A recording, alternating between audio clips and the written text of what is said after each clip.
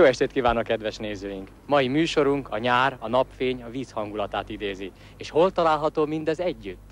A Balatonnál. De a korvináiknak úgy látszik, ez sem elég. Ők egy léghajóról ábrándoznak. Jó lenne, ha volna egy nagy léghajó. Sajnos léghajónk nincs, de autónk remélem lesz, főleg ha Stefanovics Máté páros is úgy akarja. És akkor önöket egy kirándulásra hívjuk meg. Kinn a kertben a nyíló kis virág. Karda beállt a kérése, hogy Szerelemről szóljon a kérek, ami nélkül nem lehet élet. Korda György viszont rossz tapasztalatairól beszél. Haver, a nőkkel jól vigyázz, ó, a nőkkel jól vigyázz.